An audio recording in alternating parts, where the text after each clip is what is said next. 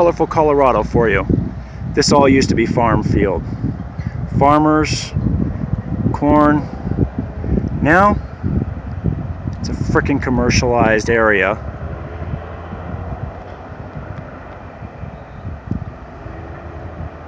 With a full burn stack.